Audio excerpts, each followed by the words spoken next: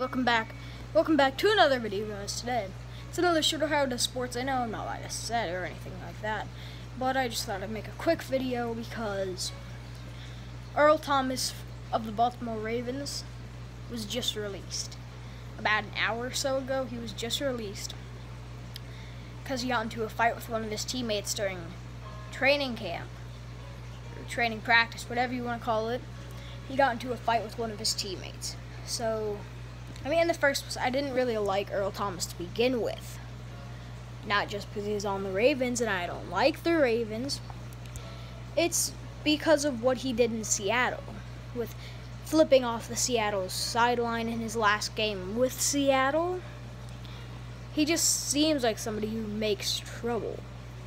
You flip off the Seahawks sideline and then you get signed to a team. How the frick do you get signed to a team when you flipped off the entire sideline for your previous team. Hmm. That is something I'll never understand. See, the Ravens will sign Earl Thomas, yet they won't sign Antonio Brown.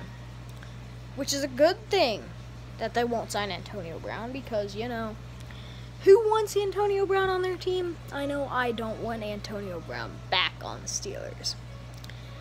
So, Antonio Brown, if you're watching this, you're not going back to Pittsburgh.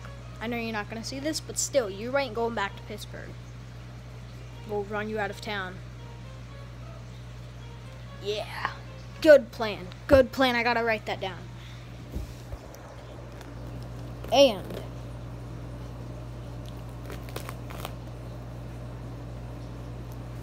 in more NFL news, John Ross I don't know if I said this last video because I can't remember. John Ross returned to training camp, so that's good for him. Good for you, John Ross.